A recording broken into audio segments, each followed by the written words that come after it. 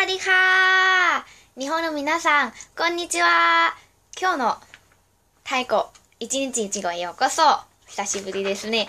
今日の太鼓は日本語のあなたは私の初恋です。と、君は僕の初恋です。はい、の太鼓ですね。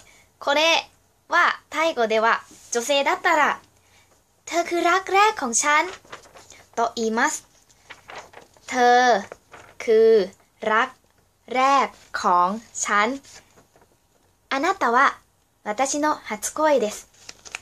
ですね。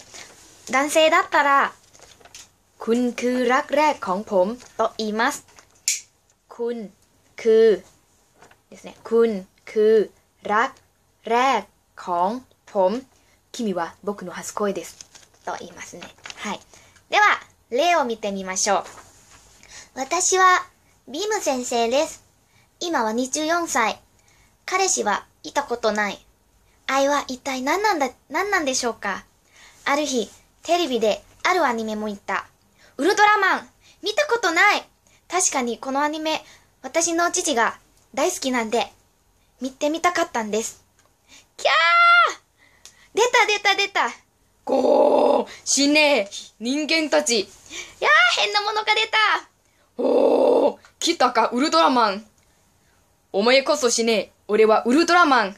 ビームレーサー。ビームビームビームビームビーム。ピュピュピュピュピュは？なんだって？ビームビームビームビームビーム。キャーやばい。ウルトラマンが私の名前を読んでる。どうしようどうしよう。超嬉しい。今まで私の人生の一番嬉しいこと。名前を読んでくれて世界中に見られちゃう。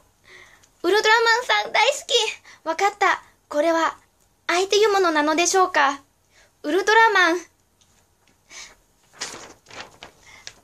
あなたは私の初恋です。ウンタンマンเธอคือรักแรกของฉันนะคะก็、こういうことですね。はい。もう一度練習しましょう。女性ですね。เธอคือรักแรกของฉัน เธอคือรักแรกของฉัน男性は、 คุณคือรักแรกของผม คุณคือรักแรกของผมと言います。今日はこれで終わりです。